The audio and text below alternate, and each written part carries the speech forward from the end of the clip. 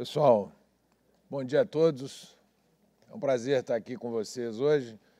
Agradecer ao Boasson e ao Jacó o convite para falar aqui nos 100 anos da academia.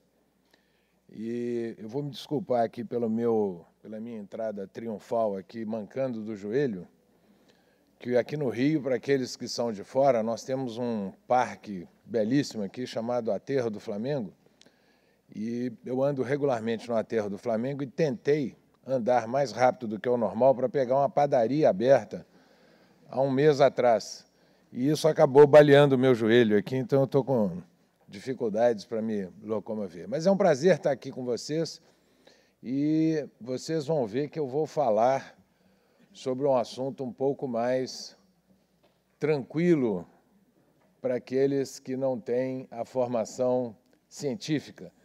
E eu estou sentindo aqui que a minha apresentação vai ficar mais ou menos como uma apresentação do meu parceiro lá em Harvard, quando eu passei cinco anos na universidade, chamado Tony Ettinger, que ele fazia uma palestra interessantíssima que dizia, o título da palestra era Êxtase e Agonia. Porque existia muito, na época tinha aquele filme que ficou famoso, o livro lá do Morris West, Agonia e Êxtase, né? Então ele lançou, a palestra dele era êxtase e agonia. E o êxtase e agonia tinham a ver com a maravilha que a tecnologia promete para todos nós, e a agonia vem quando aquilo que realmente acontece é entregue uh, no dia a dia das pessoas. Né? Eu vi um filme outro dia falando sobre o futuro que eu achei incrível. O sujeito tinha uma impressora 3D em casa, e aí ele acorda, tem sempre aquele vidro assim na parede, ele vê aquela coisa, como é que está o tempo do lado de fora, decide que o clima está muito bom para andar de moto, imprime uma moto na impressora 3D e sai nela. Aí aquilo parece, todo mundo olha aquilo fantástico, aí o sujeito olha aquele filme, sai na rua, o celular não funciona, o trânsito está um inferno, né? O ônibus não chega, o trem está atrasado, uma confusão desgraçada, isso é a agonia. Então a gente tem o êxtase da tecnologia e a agonia.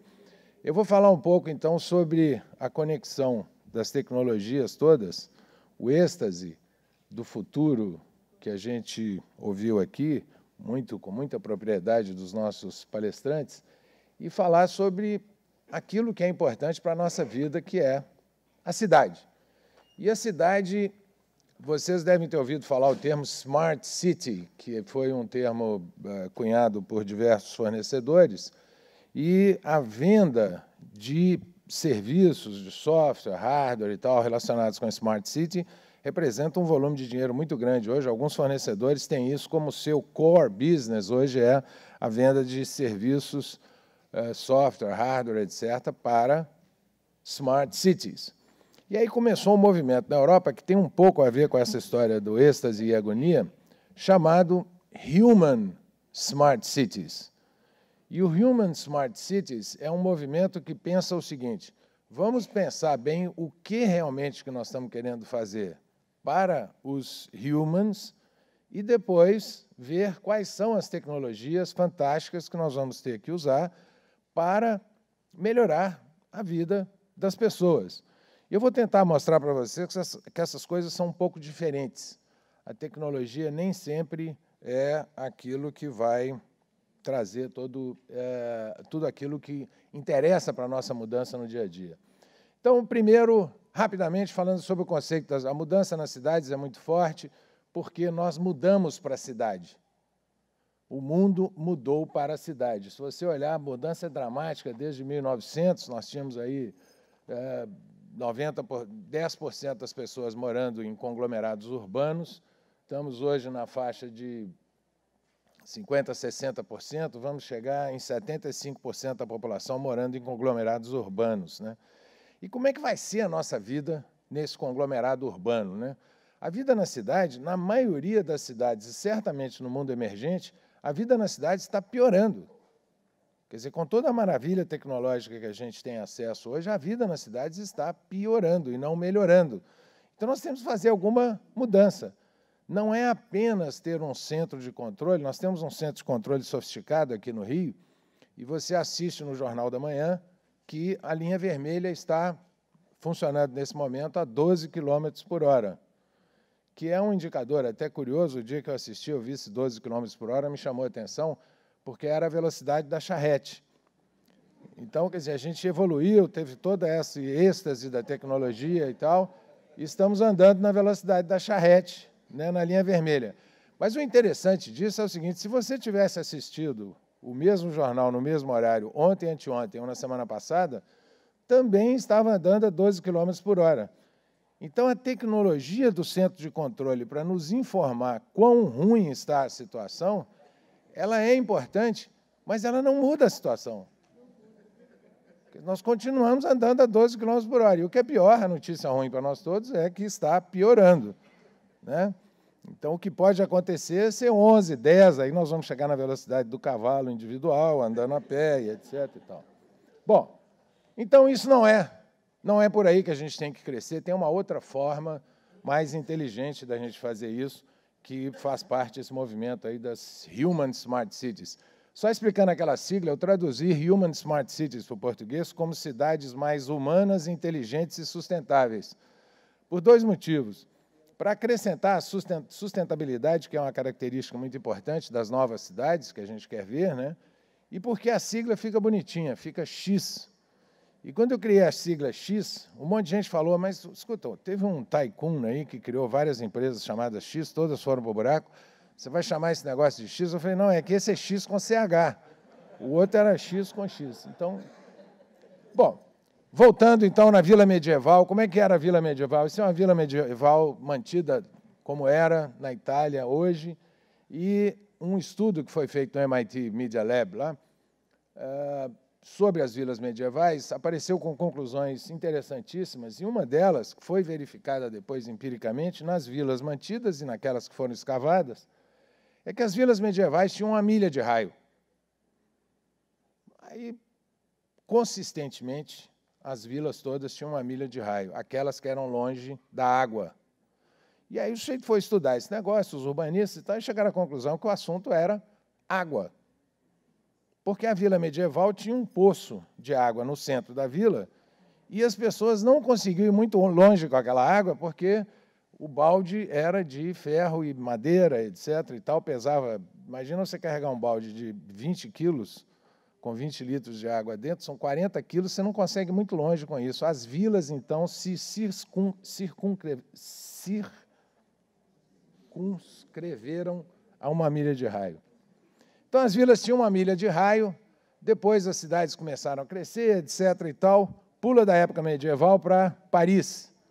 Napoleão III contratou um arquiteto famoso na França na época, que era prefeito de Lyon, chamado Haussmann, para projetar a nova Paris. E aí, Haussmann chegou lá, depois ele ficou famoso, foi, foi é, transformado em nobre pelo Napoleão III, virou o Barão Haussmann, ele é conhecido na literatura como Barão Haussmann. Ele projetou Paris com aquelas primeiras os primeiros quatro arrondissements de Paris, ali, um, dois, três, quatro, são o projeto original do Haussmann, que depois ele mesmo projetou os demais 20. Mas o interessante desses, desse projeto do Haussmann é o seguinte: ele queria que as pessoas morassem, trabalhassem e se divertissem no mesmo lugar. E quanto tem? Se você olhar, isso foi feito depois, a média dos arrondissements de Paris tem uma milha de raio. Então, o conceito da vila medieval estava na cabeça do Haussmann quando ele projetou Paris. E todo mundo que vai em Paris, olha aquelas avenidas largas, aquele troço todo, fala incrível, né? O Haussmann, em 1860, já imaginou o, o trânsito de veículos e as avenidas largas, aquela coisa toda? Não, não tinha carro nessa época. Ele projetou as avenidas largas, amando do Napoleão, para que as tropas pudessem passar por ali e mostrar o poder de Napoleão voltando das guerras e acalmando a inteligência francesa em Paris, que podia eventualmente querer mudar o status da monarquia. Então, o Napoleão pediu as avenidas largas, elas foram feitas por esse motivo, não para passagem de automóveis, graças a Deus. Mas o interessante de Paris é que quem vai a Paris hoje, estamos falando aí de 140 anos depois. O sujeito vai em Paris hoje fala assim: você não vai acreditar. Eu fiquei num hotel em Paris, o cara que vai pela primeira vez, né? Falei assim, eu fiquei, fui agora a Paris, passei lá um tempo, gostei demais da cidade, todo mundo gosta demais de Paris, né?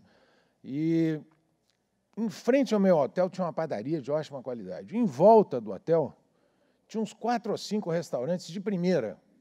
Estação do metrô estava duas esquinas para lá. Né? Tinha um museu de ótima qualidade ali logo na frente e tal. Aí o outro sujeito que não conhece bem Paris fala assim: você deve ter ficado no mesmo hotel que eu. Porque o hotel que eu fui em Paris tinha uma padaria em frente, vários restaurantes, um museu, a estação do metrô e tal. Pois é, a notícia para aqueles que conhecem Paris, todos os hotéis em Paris têm uma padaria em frente, um museu em volta, todos. Né? E ninguém anda de carro, né? Em Paris ninguém anda de carro. Paris não tem centro. Né? Curioso isso, né? Que a gente, acostumado com o modelo que veio depois de Paris. E por que, que os franceses conseguiram fazer essa maravilha de cidade em. Eles são mais inteligentes que nós todos, isso pode ser uma teoria francesa, mas na verdade, na época não existia o carro. Graças a Deus, para o Haussmann, que foi a maior transformação urbana que aconteceu no século XIX, não existia automóvel nessa época. Então, ele fez uma cidade para as pessoas, como ela tinha que ser grande, ela era várias vilas medievais, com uma milha de raio cada uma. Você pode ver que os, os, uh, o raio aqui, né, se você imaginar o raio de um, de um paralelepípedo aqui, ele, ele aumenta um pouco na periferia, mas é em torno de uma milha de raio. Todos eles têm lazer, trabalho, diversão, no mesmo lugar. Então, Paris é uma cidade fantástica, todo mundo anda a pé. Uma das características da cidade é que o transporte público, o metrô, está a menos de 500 metros de qualquer ponto desse círculo. Aí. Então, isso é uma característica forte de Paris. Então, Paris foi feita assim, foi a última cidade que foi construída com esse conceito. E depois veio a indústria. Logo em seguida, século XIX, veio a indústria, produção massificada. A indústria era poluente, né? o símbolo da indústria são as, as chaminés, até hoje a gente fala em indústrias como chaminés, né? poluidoras e tal. E como consequência disso, logo em seguida veio o nosso querido automóvel. Eu vou falar muito mal do automóvel aqui, você vai me desculpar, o Gerard. Apesar dos alemães gostarem muito de automóvel, nós também gostamos muito, mas eu vou falar muito do carro, então antes de falar mal do carro, eu peguei a figura mais simpática do automóvel que eu descobri, que foi essa aqui. Logo em seguida veio o automóvel. E nós tivemos uma ideia fantástica. Já que a indústria é poluente, vamos separar na cidade as funções moradia, trabalho e lazer em lugares diferentes da cidade. Porque aí fica tudo resolvido. Como é que a gente se movimenta de um lado para o outro? De carro. Estava ótimo. Nós íamos muito bem. E aí aconteceu isso. Que já foi mostrado aqui em Buenos Aires, né? Aquela figura de Buenos Aires, né, cruzando fora da faixa, aquela coisa toda, está uma confusão do capeta. São Paulo está na beirada do caos, e licencia 800 automóveis todo dia. Isso é a cidade de São Paulo, não é Grande São Paulo, nem a, o estado de São Paulo. A cidade de São Paulo licencia 800 carros por dia. Então você imagina a beleza que é você estar naquele trânsito de São Paulo. Você imagina, amanhã é isso aqui mais 800. Não vai dar certo. E no mundo acadêmico nós gostamos muito de definições, é, um colóquio para definição. Foi feito um colóquio em São Paulo para fazer uma definição de quando que São Paulo vai parar. Porque todo mundo fala, São Paulo vai parar, São Paulo já parou, está quase e tal. Não, então vamos definir o que é parar. Aí fizemos isso. Parar é o seguinte: vai ter um engarrafamento em São Paulo tão forte, um dia determinado, que vai levar 24 horas para o último carro, sair do enrosco e voltar para casa. Essa é a definição de que a cidade parou. Né? E o que, que significa isso na prática? Significa que, já estamos pensando quando que isso vai acontecer, tem gente fazendo previsão de meses, tem alguns já fazendo previsão de semanas, Isso vai ser uma sexta-feira chuvosa, véspera de um feriado cumprido. São Paulo vai parar. E aí o último carro para sair do enrosco leva 24 horas para voltar. E esse negócio é tão forte hoje que o sujeito fica preso.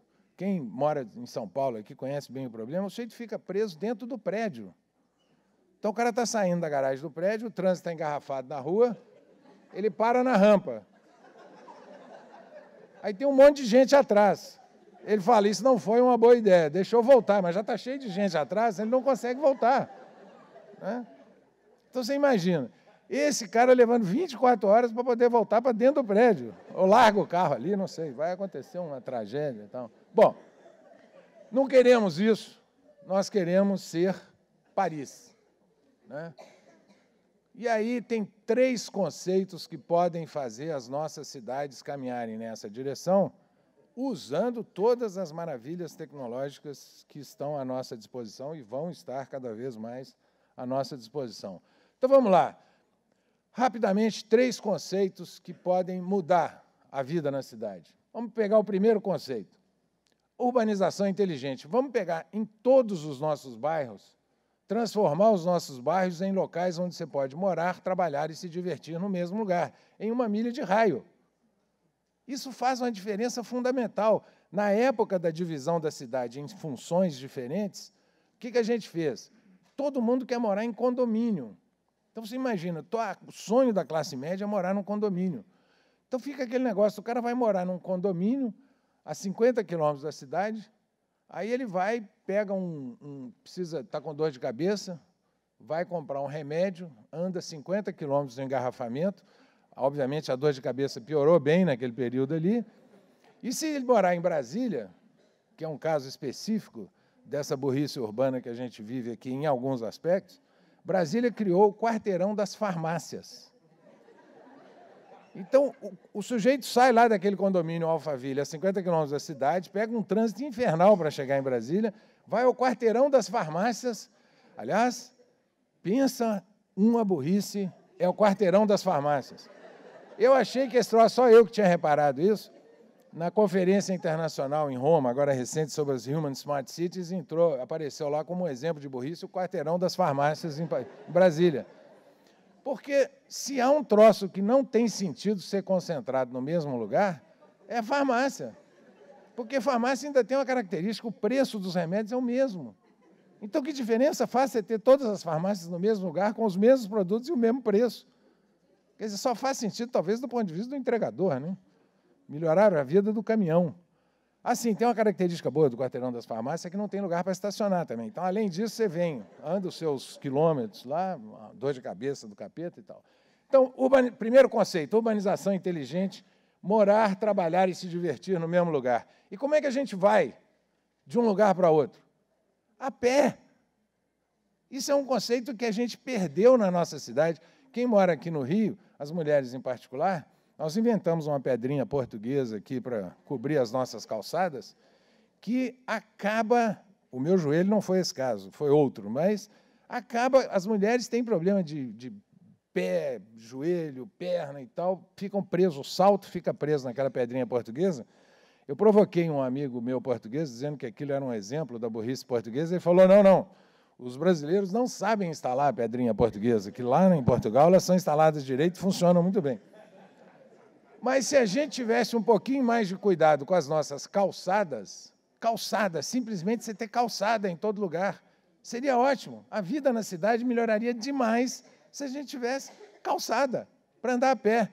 Então, a melhor forma de mobilidade urbana, toda vez que a gente fala em mobilidade urbana, você imagina um carro.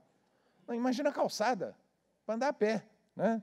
Depois, ciclovia, claro que nós já estamos um, tivemos um acidente trágico aqui no Rio, mas um movimento grande instalação de ciclovias aqui, e transporte coletivo, e só em último caso pensar no nosso querido automóvel. Então, primeiro conceito, sempre, em qualquer situação urbana, pensar moradia, lazer e trabalho no mesmo lugar.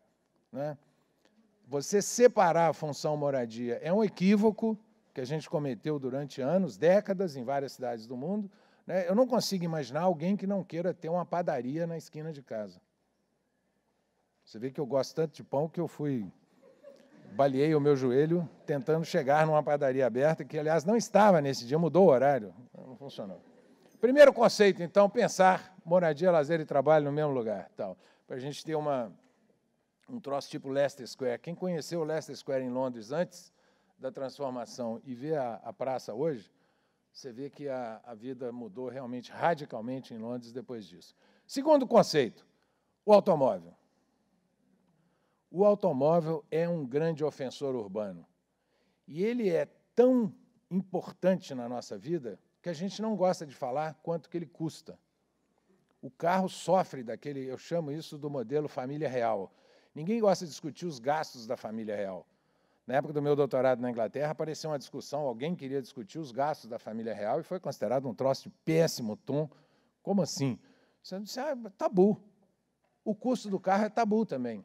Ninguém discute o custo do automóvel para nós todos, no Brasil, a gente não faz isso.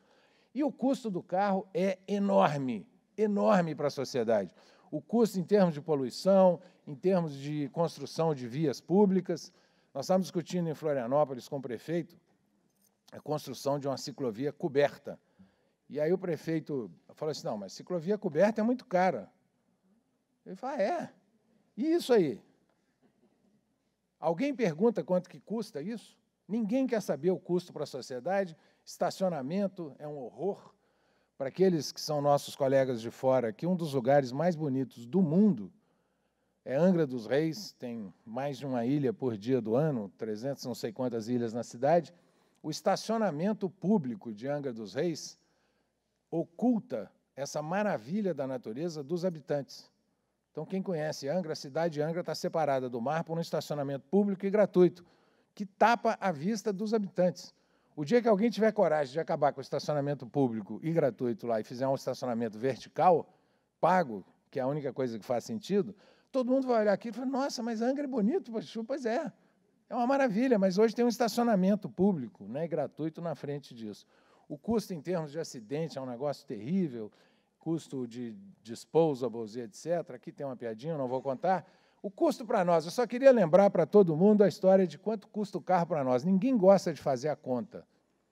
Mas aquele carro que você comprou para o seu filho que foi para a universidade, você comprou aquele carro com ar, porque está um calor danado, então um carro com ar, trinta e tantos mil reais, custa para você 1.500 a 2.000 mil reais na garagem, sem o custo de manutenção mensal. É só fazer a conta de todos os impostos, custo da própria garagem, etc. e tal, você está pagando 1.500 a 2.000 reais por mês com o carro na garagem. Ninguém gosta de fazer essa conta. A capacidade de irritação no trânsito é um troço fenomenal. Né? Como que as pessoas se irritam no trânsito é um troço assim incrível. Quem assistiu aquele filme Relatos Selvagens, né, consegue entender bem esse negócio. Como é que as pessoas se transformam né, no trânsito? O custo dos acidentes, você podia estar fazendo alguma coisa bem melhor na sua vida. Então, segundo conceito importante, não é ser contra o carro, mas ele tem que pagar o custo que ele tem para a sociedade. Ele mesmo, quer dizer, o automóvel tem, deve pagar o custo que ele representa para a sociedade. E o terceiro e último conceito é a pergunta certa dentro da cidade. Esse, então, eu acho que é o conceito fundamental. Em Florianópolis, nós temos duas pontes ligando o continente com a ilha. E eu morei lá muitos anos atrás, e na época tinha uma discussão onde vai ser a quarta ponte porque tem duas pontes que são essas aí, completamente congestionadas. A terceira é Ercílio Luz, né, que é o símbolo da cidade, aquela coisa toda. E, diante desse engarrafamento incrível que tem na cidade, nós precisamos da quarta ponte. Ninguém pergunta por que, que precisa da quarta ponte. Existe um congestionamento que é resolvido com a quarta ponte. Então, todo mundo está querendo saber, a discussão não é se deve ser feita a quarta ponte, é aonde que vai ser a quarta ponte? É no norte da ilha, no sul, não sei aonde? Ninguém pergunta quanto vai custar a quarta ponte. Pois é, a notícia boa é a seguinte: não precisa da quarta ponte. Tem uma tecnologia que é utilizada aqui no Rio, moderníssima, chamada barcas. Tem cento e poucos anos, que cruza de Niterói para o Rio, trazendo pessoas sem carro para trabalharem do lado de cá. Isso é baratíssimo. E tem que levar em conta ainda o seguinte: quando eu contei isso para o prefeito, ele ficou abismado. Eu falei: escuta, a ponte Rio-Niterói tem 14 quilômetros de extensão. Essa ponte Ercílio Luz aqui tem 800 metros. E nós precisamos ter uma quarta ponte para transportar pessoas. Do... É um negócio, é realmente uma coisa assim absurda. Por que, que nós chegamos nessa situação?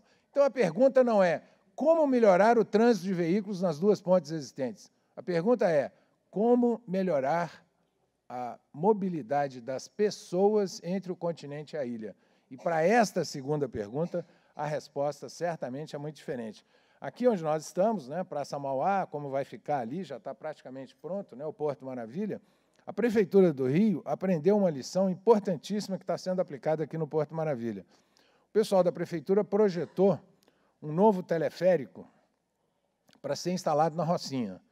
E aí, como uma prefeitura democrática e tal, foram fazer uma. perguntar à sociedade o que, que eles achavam, como é que tinha que ser aquele teleférico e tal.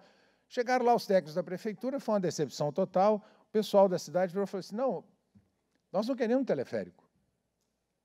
Como assim vocês não querem um teleférico? Não, nós queremos rede de esgoto, nós queremos educação de qualidade, acesso à internet e tal. Depois que isso tudo estiver funcionando, aí nós vamos falar de teleférico. Não é isso que nós queremos, não. Então tem que perguntar à população. Além de você fazer a pergunta certa, tem que construir a solução com a população.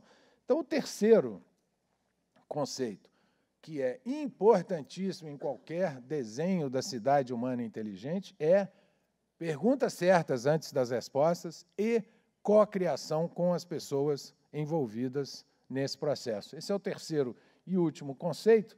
E para aqueles que acham que essas mudanças são muito difíceis, eu sempre gosto de mostrar isso aqui, não tem nenhuma conotação política. Para aqueles que não conhecem, isso é um ex-presidente do Brasil chamado Juscelino Kubitschek, e ele está outro mineiro, e ele está, nesse momento ali, assinando o decreto de mudança da capital do Rio de Janeiro para Brasília. O notável disso daí, eu trouxe essa, essa foto pelo seguinte: isso foi assinado no dia 1 de outubro de 57. Dois anos e meio depois, Brasília foi inaugurada. Depois fizemos a cidade toda errada, mas na época da fundação, a cidade tinha um planejamento para 450 mil pessoas, né? hoje tem 5 milhões, então, obviamente, não funcionou. Mas, em dois anos e meio, foi feita essa transformação. E, na dúvida, por mais maravilhados que a gente esteja com a tecnologia, tudo que pode trazer de bom a tecnologia para nós, eu tenho colocado um cheque de continuidade que é o seguinte: se você tiver em dúvida sobre o que fazer na cidade, pergunte às crianças entre outras coisas, elas não dirigem. Obrigado.